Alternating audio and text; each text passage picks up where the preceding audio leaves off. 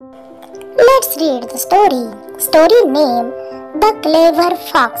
English moral story. Short story for easy learning and reading. Firstly, welcome to PK's Learning for Easy Solutions. Don't forget to subscribe the channel for more updates. So kids, let's read the story. Once a fox was very hungry.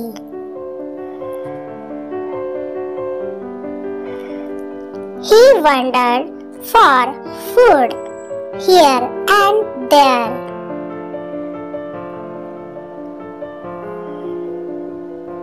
At last, he saw a crow.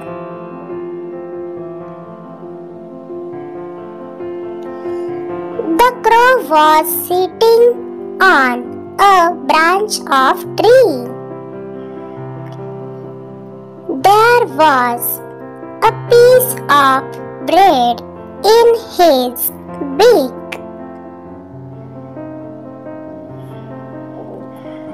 The fox wanted to eat that piece, so he started talking with the crow.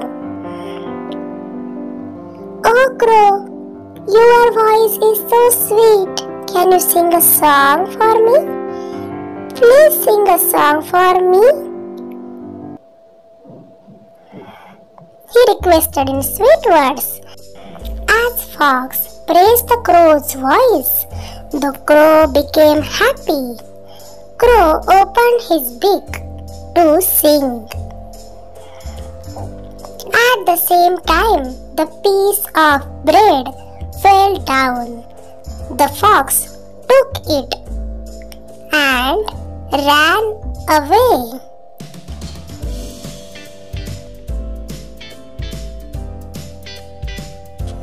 On the act of fox, the poor crow felt so sad for believing on the sweet words of the fox and ended up losing his food. Moral of the story is think twice before you act or always find out the genuine intention behind the sweet words of others. Don't believe so quickly. Thanks for watching. If this video is helpful to you then please like, share and don't forget to subscribe the channel for more updates.